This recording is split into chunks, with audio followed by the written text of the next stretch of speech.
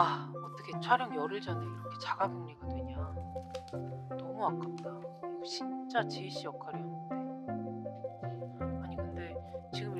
미룰 수도 없고. 지희 씨 우리 사정 알지? 예, 뭐. 아, 저, 예, 괜찮아요. 영화가 중요하죠. 예, 뭐, 저는 그냥 아무렇지도 않아요. 예.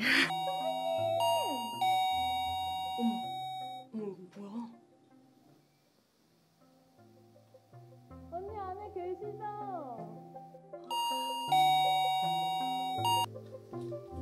망했네. 망했어. 아! 이 영화 망했어.